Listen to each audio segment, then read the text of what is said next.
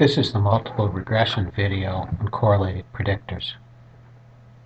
It's a brief discussion of what can go wrong with highly correlated predictors.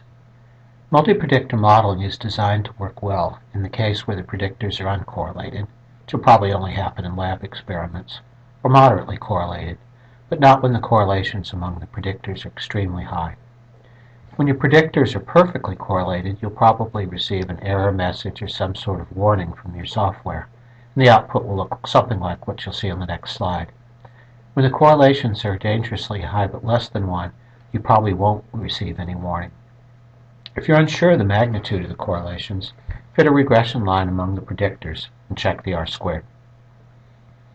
What this output is trying to tell you is that x3 was perfectly correlated with one or more of the other predictors in the model.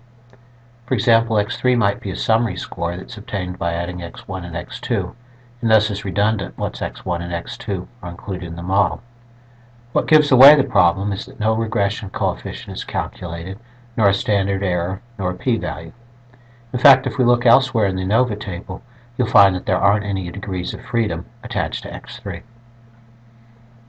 If the correlations among your predictors are very high, but not so high as to be redundant, your software probably won't provide you with any warning. This slide illustrates what to look for. Here x2 and x3 are highly correlated, and the giveaway is the high standard error for the regression coefficients. One implication of highly correlated predictors is it's easy to underestimate their importance. In the previous slide, the regression coefficients for both x2 and x3 had high standard errors, so neither will be statistically significant. Well, that makes sense, since the partial regression coefficient measures the impact of that predictor after accounting for the other predictors in the model.